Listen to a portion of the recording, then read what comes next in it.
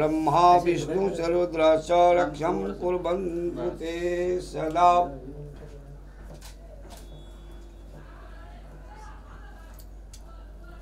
आकालमृत्युहरणं सर्वव्याधिनाशनं लक्ष्मीपादोदकं पीत्वा श्रीसाधारप्राप्याम्यहम्।